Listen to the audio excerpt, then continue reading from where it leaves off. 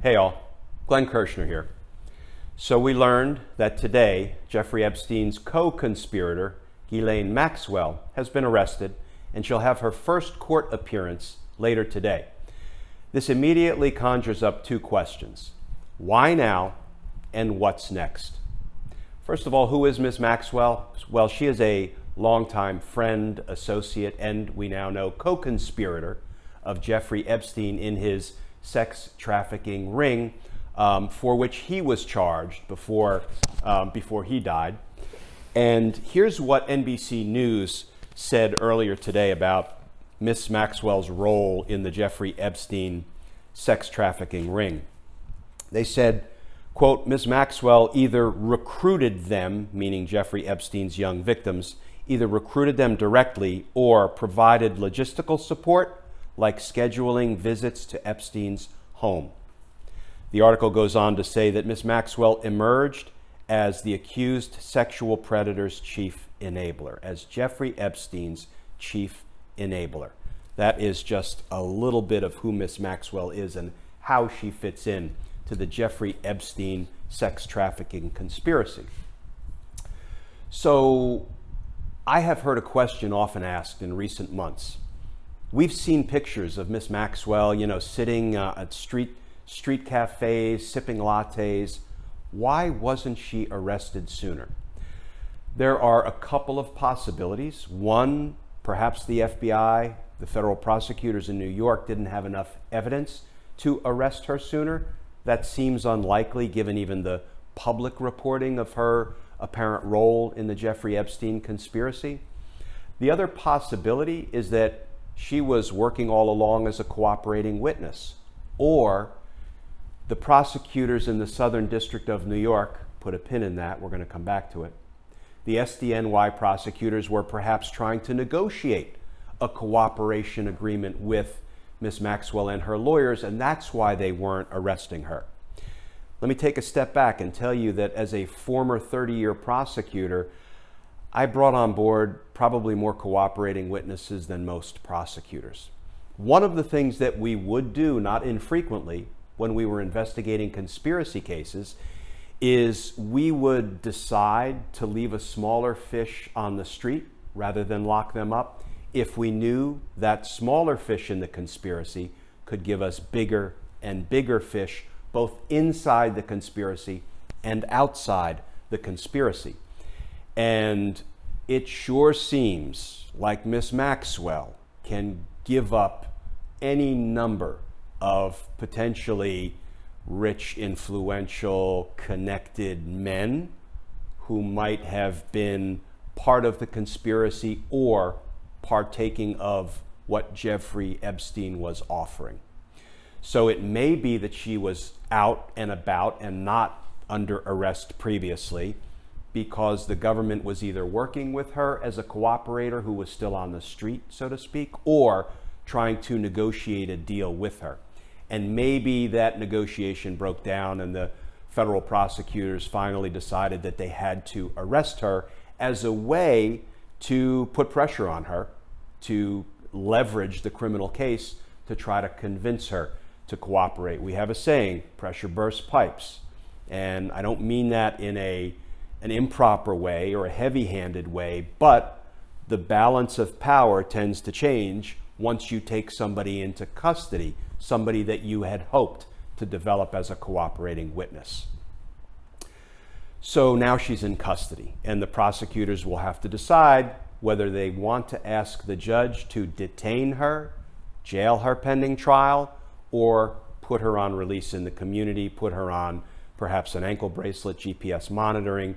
Um, it does seem like there will be a strong argument that Miss Maxwell is a flight risk.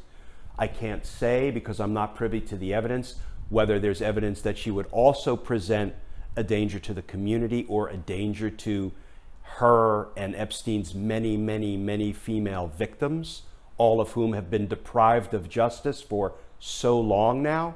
But the prosecutors will have to decide later today whether they want to seek her detention or let her remain in the community.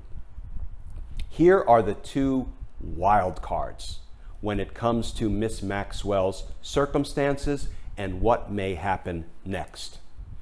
Bill Barr and a presidential pardon from Donald Trump. Let's unravel those a little bit. Bill Barr, you'll recall, not a week ago, engaged in this flurry of nefarious activity to fire Jeff Berman, the top prosecutor, the U.S. attorney in the Southern District of New York U.S. Attorney's Office, the office that is prosecuting Ms. Maxwell. We don't really know why Bill Barr did that, but we know how ugly it was because remember, first, Bill Barr tried to promote Jeff Berman to either be the chief of the civil division for the entire Department of Justice or the chairman of the Securities and Exchange Commission, the SEC. Berman said, I don't want those jobs. Next thing you know, uh, Bill Barr issues his own attempted Friday Night Massacre press release telling everybody Jeff Berman has resigned.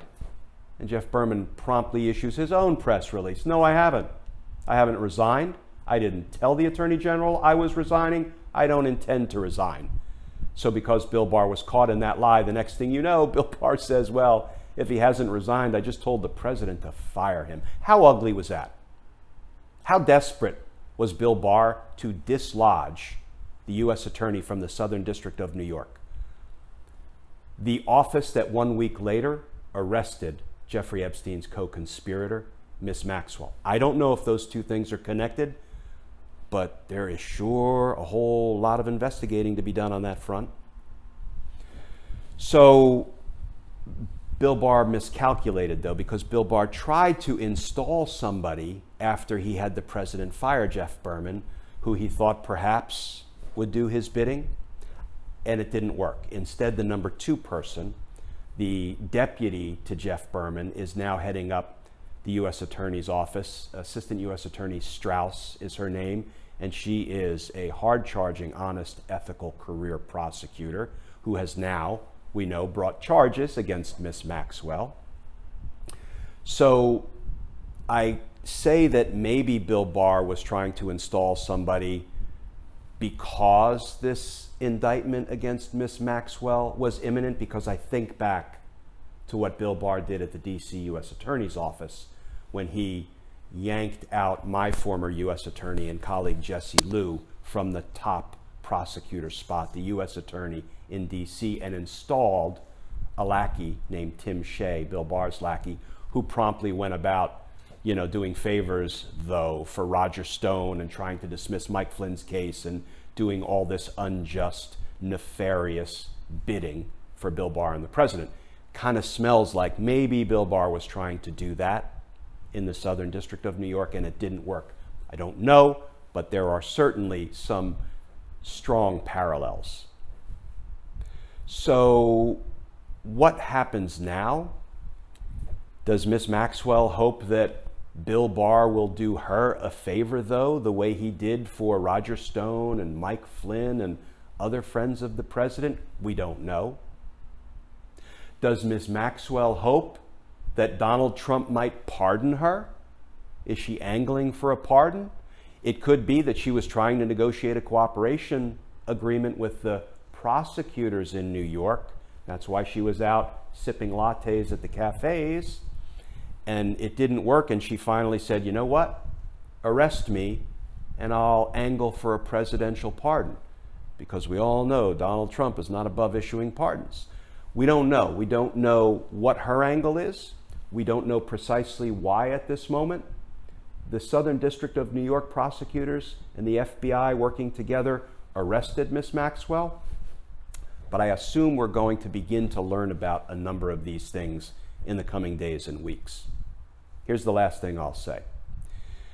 We all know after Jeffrey Epstein was taken into custody what happened. We don't know precisely what happened, but we know that um, he did not survive to see his own trial or to cooperate with the government and give up all of those powerful, influential men that he could have given up.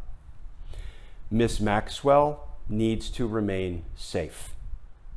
And can I tell you, folks, from my own personal experience, dealing with more cooperating witnesses than I can count, here's how I dealt with the safety issue. When I met with a defendant and I tried to convince that defendant to become a cooperating witness, cooperate with the prosecution, and help me bring down other bigger fish by providing truthful, honest, accurate information about those other big fish, I told every person in that circumstance, every aspiring cooperating witness, that whether you cooperate with me or not, I'm going to make sure we take all reasonable steps to provide for your safety. I never used safety as a bargaining chit or as leverage over a defendant. Whether they decided to cooperate with me or not, we always tried to protect everyone that we arrested and that was then in the Bureau of Prisons custody or in DC, the Department of Corrections custody. So, what I urge is that Ms. Maxwell, regardless of what role she chooses to play in the ongoing investigations and prosecutions, she needs to remain safe. More to come on this front, folks. I wanted to get this quick video out given today's development, and I will be talking with you all again very soon.